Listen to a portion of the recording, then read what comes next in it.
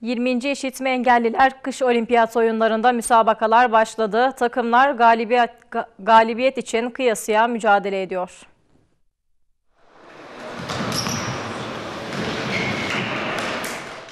...20. İşitme Engelliler Kış Olimpiyat Oyunlarında müsabakalar başladı. Kadınlar Türkiye grubundaki ilk maçında Almanya ile karşılaştı.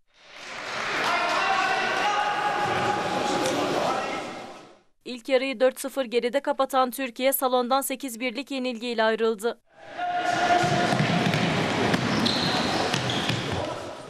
Milli takım gruptaki ikinci maçında 3 Mart Pazar günü saat 10.30'da Kenya ile karşılaşacak.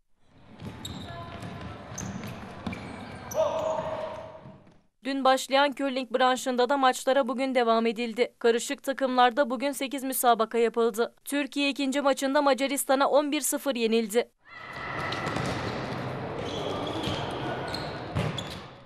Bugün de futsal ve curling müsabakaları yapıldı. Türkiye saat 10.30'da İtalya ile karşılaştı. Karşılaşmadan Türkiye 6-0 mağlup ayrıldı.